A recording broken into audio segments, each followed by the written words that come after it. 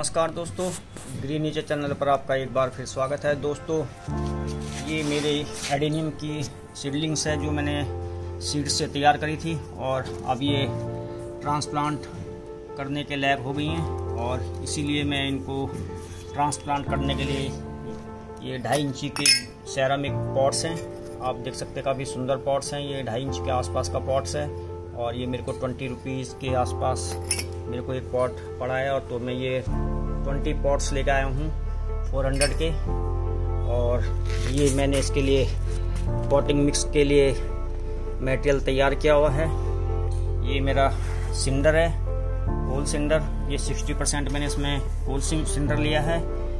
15 percent पंद्रह percent मैंने इसमें ये लीफ मोल्ड है और पंद्रह परसेंट ही इसमें कोकोपीट और बाकी ट्वेंटी परसेंट के जो मिश्रण है वो मेरा ये काउडंग, नीम खली और ये बोन मील तो मैंने इसमें टोटल छः आइटम ली हैं और इन्हीं को अब मैं अच्छी तरह से मिक्स कर दूँगा।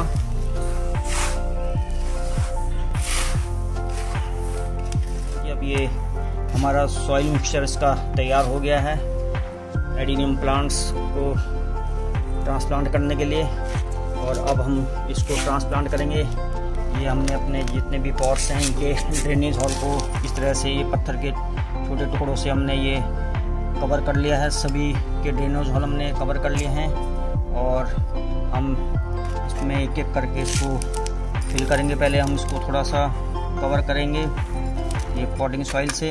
उसके बाद हम अपने इस प्लांट को इस ट्रे में से बाहर निकालेंगे। अब इसको बाहर निकालने का तरीका है क्या है? आप इसको देखिए, इसको इस तरह से हम बाहर नहीं निकालेंगे खींच के।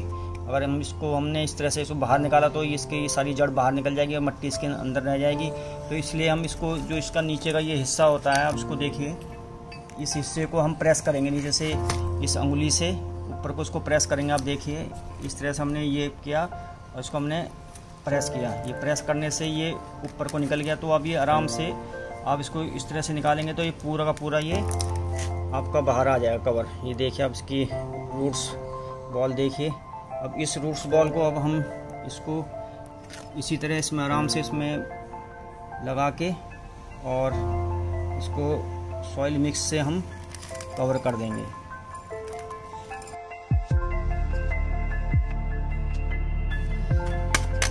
ट्रांसप्लांट हो गया हमारा, काफ़ी अच्छी तरह से फ़र्स्ट क्लास तरीके से देखिए आप। काफ़ी सुंदर तरीके से प्लांट ट्रांसप्लांट हुआ है। वो हमने जितने भी इसके प्लांट हमने इसमें से निकालने हैं तो इसी तरह से हमने नीचे से उंगली से इसको प्रेस करना है और प्रेस करते के साथ ये लूज होकर ऊपर निकल जाएगा। आप देखिए, अब ये लूज हो गया तो ये इजीली ऊपर आ गया इस तरह से। तो अब हम इसी तरह से अपने इन सारे प्लांट्स को फिल करेंगे ट्रांसप्लांट करेंगे। और दोस्तों, ये इस तरह मेरे ये सारे ट्वेंटी प्लांट्स डी प्लांट्स हो चुके हैं मेरे इन सेरामिक छोटे छोटे पॉट्स में और वो सिलिंग ट्रे मेरी खाली हो चुकी है।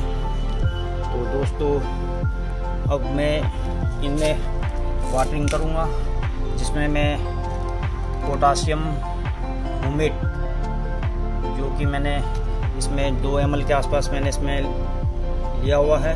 इसको मैं दो लीटर पानी में इसको मिक्स करूँगा अच्छी तरह से और मिक्स करने के बाद मैं इसको अपनी इन प्लांट्स में डालूँगा, क्योंकि पोटासियम ह्यूमिड से इसका जो रूट फॉर्मेशन है, जो उसका रूट की ग्रोथ है, वो काफ़ी अच्छी तरह से हो जाएगी। जो रूट्स की डिस्टर्ब हो रखी होंगी, वो सही तरीके से काम करना चालू कर देंगी और इसमें वाइट रूट्स जो हैं आनी चालू हो जाएँगी। और इस तरह से अब हम इसको थोड़ा थोड़ा सभी पॉट्स में देंगे। देखिए कितनी पॉरस मिट्टी होती है। इसका सॉइल मिक्सचर है। इसमें पानी गिरते के साथ ये नीचे से ड्रेन हो गया है।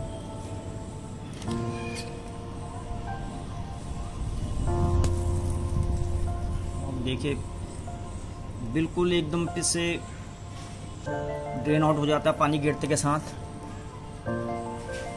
एक सेकंड के अंदर ही सारा पानी ड्रेनेज हॉल से बाहर आप देख सकते हैं कि ये काफ़ी अच्छा सॉइल मिक्सचर है, जो कि एडिनियम प्लांट्स के लिए है।